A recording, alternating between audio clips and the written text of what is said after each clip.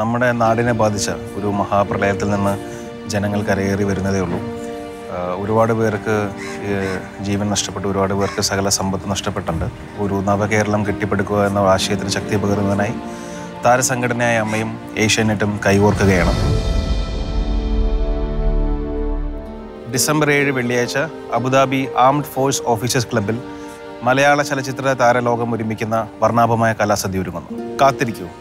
ഇത് നവകേരള നിർമ്മാണത്തിന് ഒരു കൈത്താണ്